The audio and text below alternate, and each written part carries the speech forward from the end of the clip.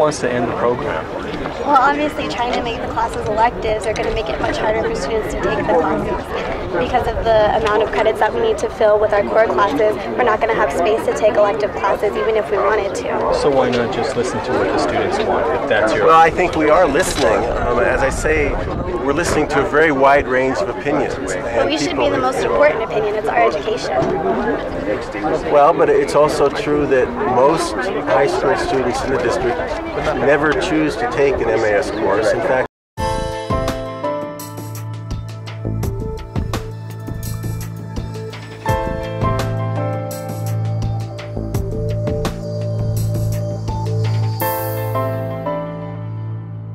no, no, As I mentioned to you, I think it puts a double burden on Chicano students to have to take these electives. I mentioned to you that I thought this was a regressive agenda because it does not produce equity or equality of those courses.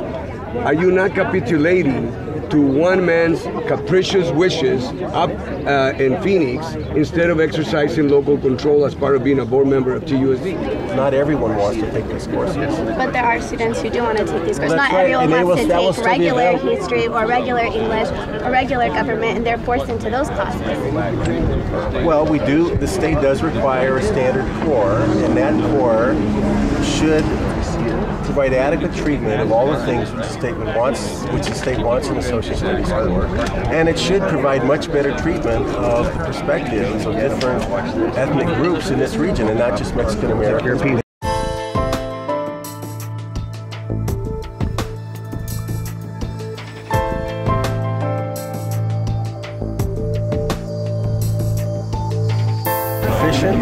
But our classes do cover the core credits, and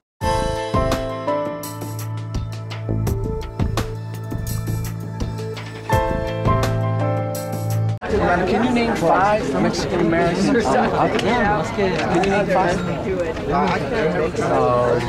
Can you name five Mexican American historical figures? You know, but look at I can name a lot of Mexican historical figures. I don't no, no. Well, Mexican Uh, American. my education you in this area is very. I didn't get this education.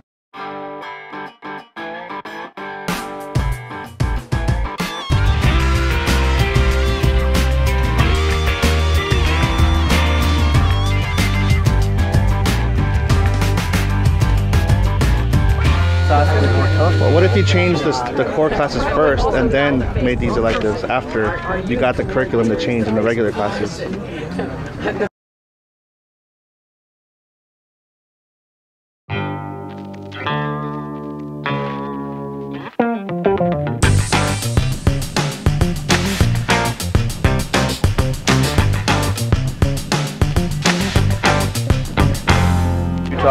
About this? I have not talked to him at all about this.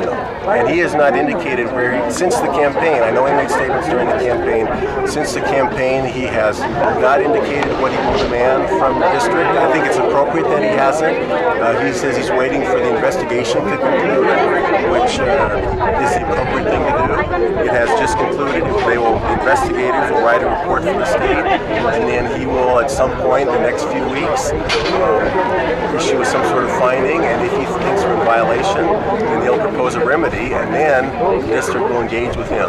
Why not wait, wait until the audit is completed before you uh, propose your resolution? Because I would rather do something that I think actually does make sense for the program and will improve teaching, rather than waiting for the state to come in and make demands.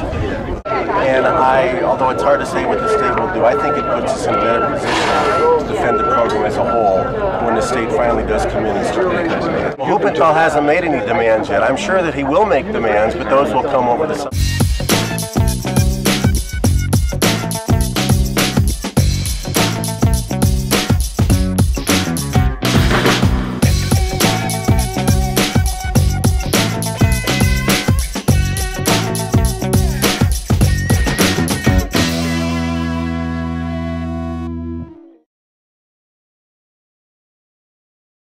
Uh, to see is this the best plan to take and then based on that evidence you can say the research showed that making an elective is better for mexican american Well, students it's true, but it's hard to You're the president. evidence.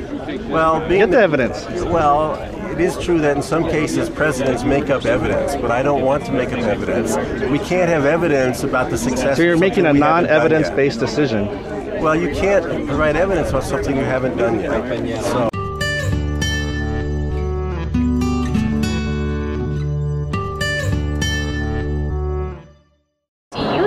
For education, and that itself should symbolize what you should be fighting for. And you should never make sense of something that doesn't make sense to begin with. And I believe that, which I believe in, which I think it does make sense for the program.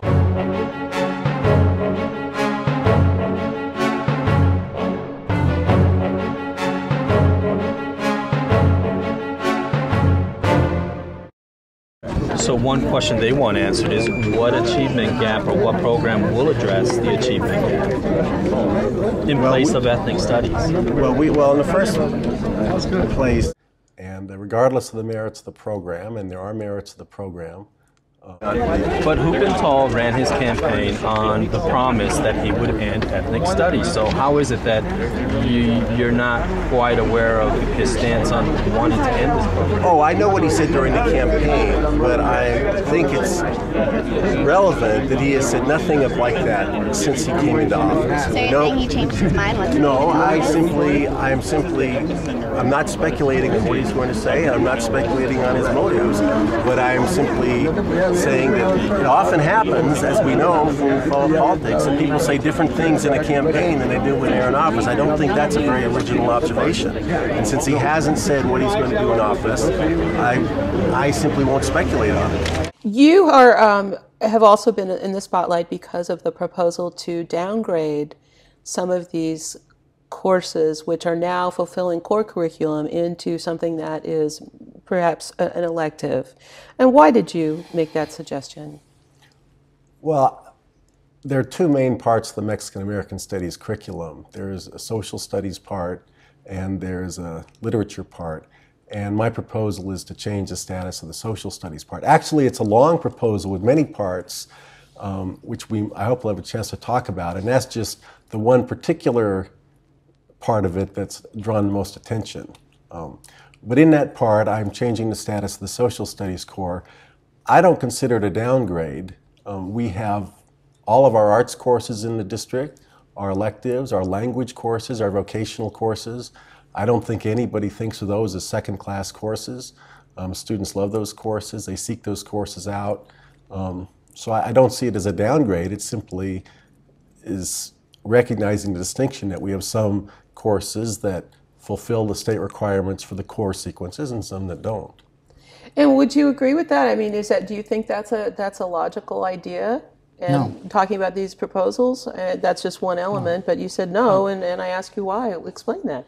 I, I think the, the entire proposal the, uh, that's being offered, the resolution that's being offered, uh, is, has a number of problems. First of all, it's premature. Um, we're, we're in the middle of an audit. We have no, no findings yet on that audit. And unless Mr. Stegeman has been in conversations that the public doesn't know about, that we don't know about, with Mr. Huppenthal, then there's no reason to do it. Number two is that, you know, there, there's been a, a serious lawsuit brought that is challenging the constitutionality of the statute. Uh, we are within days of filing a motion for summary judgment. We'll have a ruling uh, on the constitutionality of that statute this summer. This is the original Horne statute. Yes, it's that 20, we're- that we're HB 2281, Correct. which is now 15111 and 15112. And so this statute is under review now by a federal judge with respect to doesn't meet constitutional muster. Mr. Stegeman has brought forward a proposal that's premised upon one, the constitutionality of the statute, and number two, that there will be an interpretation from Mr. Huppenthal as the superintendent of education that we're in violation of the statute. I think on both matters, he's premature. And so what he's done is created a controversy. He's created a crisis in our community where one need not exist. How would you respond to that, Mark? That that this is premature, first of all, and that it that it creates an unnecessary controversy. Well, there has been controversy surrounding this curriculum for a long time. Uh, my proposal is something that I think makes sense anyway. Um, so the content of the proposal would be the same whether or not the state had intervened. Uh, the state's intervention was intrusive, it's unwelcome. I don't think any of us are happy about it. I think the state has better things to worry about. and in fact, more important things to worry about. And I think the district has more important things to think about. This program affects a relatively small number of students. It's a very small part of the desegregation budget, which is a small part of our, well, substantial, but you know, the smaller part of our total budget.